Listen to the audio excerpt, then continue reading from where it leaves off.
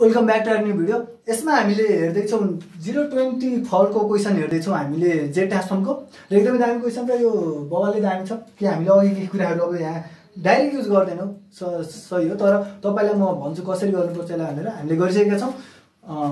सात बजेर उनपचास मिनट गएको छ। मेरो क्लास टाइम स्टार्ट हुने टाइम भइसक्यो। अब म यो यो लास्ट भिडियो त्यसपछि म कलेज जानेछु होइन।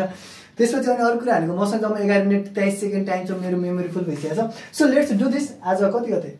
असार बिस गते हामीले बिस फलको क्वेसन गर्दैछौँ ल ठिक छ।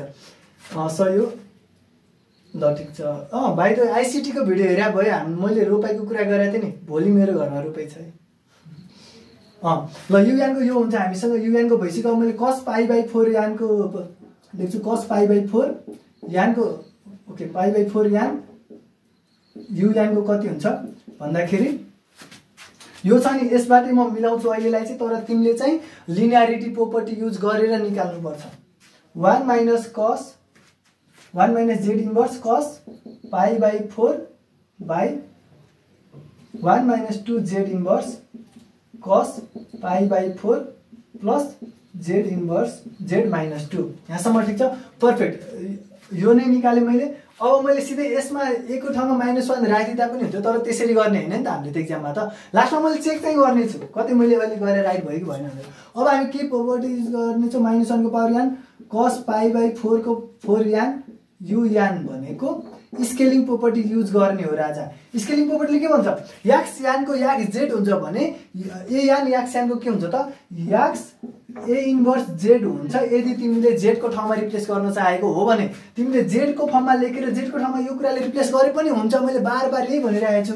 होइन भने तिमीले ए जेड इन्भर्सले रिप्लेस गरे पनि हुन्छ। जेड इन्भर्सको ठाउँमा। This is for Z this is for Z inverse यो कुरा चाहिँ ध्यान दिनु पऱ्यो। ए जेड इन्भर्स मैले रिप्लेस गर्नेवाला छु। ओके। यसमा। सो लेट्स डु दिस र अब यसको यसको हामीसँग रिजन अफ कन्भर्जेन्स त जेड ग्रेटर देन वानै छ। किन इटु त्यो म्याग्जिड वानै हुन्थ्यो। अब यसमा चाहिँ हाम्रो के हुनेवाला छ त? जेड ग्रेटर देन ए हुनेवाला छ। यहाँसम्म ठिक छ। पर्फेक्ट अब हामी काम गरौँ। सो यसमा हेरौँ। वान माइनस जेड इन्भर्सको ठाउँमा मैले राख्नेछु ए जेड इन्भर्स ए भनेको अहिले मसँग माइनस वान छ। Minus one z inverse cos pi by four by one minus two minus one z inverse cos pi by four plus z minus one z इन्भर्सको power two यहाँसम्म ठिक छ? Very good अब हामी के गरौँ त? अनि यसको रिजन अफ कन्भर्सेन्स भनेको जेड ग्रेटर देन ए भनेको माइनस वान छ।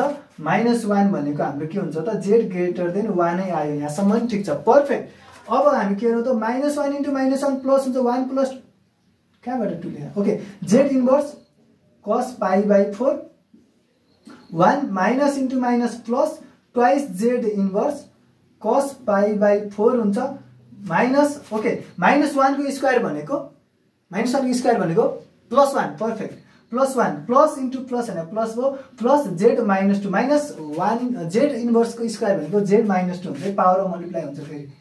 ओके ल ठिक छ फेरि पोजिटिभ गरिदिनु ल यसको जे जेड भने वान भयो। यहाँसम्म ठिक छ? Perfect this is our answer यही नै हो हाम्रो जेड ट्रान्सफर्मको एन्सर अब हामीले के गरौँ त? यसमा एकको ठाउँमा माइनस वान राखेर चेक गरेर हेरौँ। गरे त्यही नै यही एन्सर आउँछ आउनुपर्छ पर्फेक्ट हामीले रिजन अफ कन्भर्सेन्स पनि निकाल्यौँ this is all about twenty fall पियुको question यति सजिलो थियो।